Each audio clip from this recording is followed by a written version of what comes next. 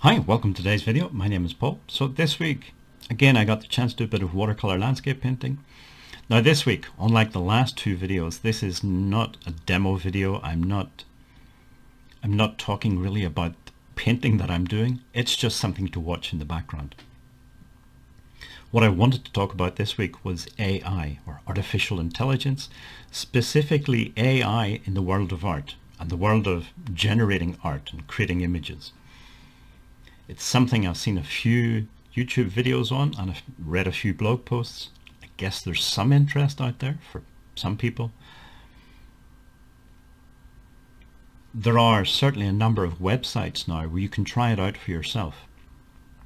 And that's what I did this week. So the website I tried out was called DALL-E, D-A-L-L hyphen E. I'll put a link in the description below if anybody's interested. I'm not affiliated with them. I'm not trying to sell you anything. It's just the link is there if you're interested. The way it works is, well, first of all, you have to sign up. So you have to click on a button, give them your email. After a few weeks, they'll invite you. You just set up an account, create a password, the usual thing. You then get, I think it's up to 50 images. The first 50 are free after that, if you want to create more, you have to pay for it. I was just curious to see what it would do, so I don't see myself paying for things in the future, but I was just curious to see what sort of images it could generate. And I think that's the key thing. It does generate the images. So the way it works is there's no programming or technical stuff involved. You just put in words, just natural language words. For example, summer impressionist landscape. You put in as many words or as few as you like. It then generates images based on those words. So it's not like Google search. Um, if you do a Google image search, you could put in summer impressionist landscape and it will go off and try to find existing images that best match the words that you put in.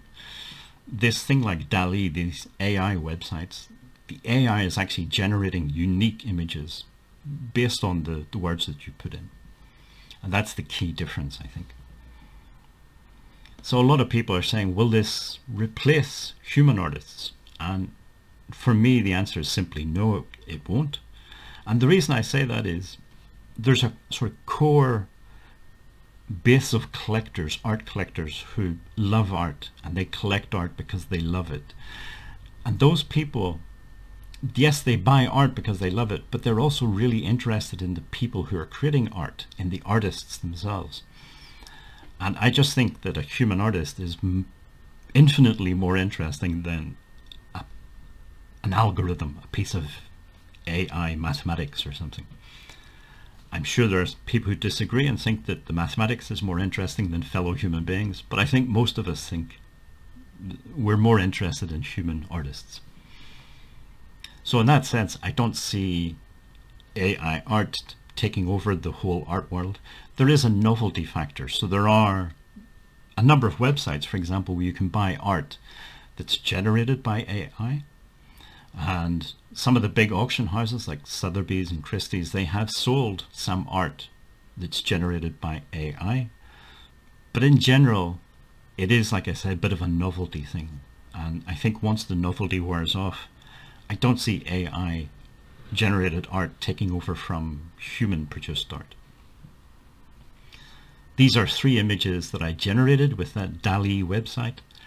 To be honest, I was totally and utterly underwhelmed by the results. They're just not impressive at all. Um, they look to me like if you just got some stock images and put them through, say, Photoshop, and with Photoshop you can apply some filters the images. For example, a posterizer filter that just sort of accentuates the pixelization and adds in maybe some false color. And that's just what it looks like to me. It's not, I could do it with Photoshop and a stock image. It's not impressive at all for me anyway. But maybe I didn't do it right. Maybe there's some, you have to choose the right words or something. I don't know. Um, but anyway, yeah, I was very underwhelmed. I can see in the future maybe this AI generated images. I can see that challenging the existing stock image websites. At the moment, those you know people like photographers, artists, illustrators, they can create these images and then sell them on some of these stock image websites.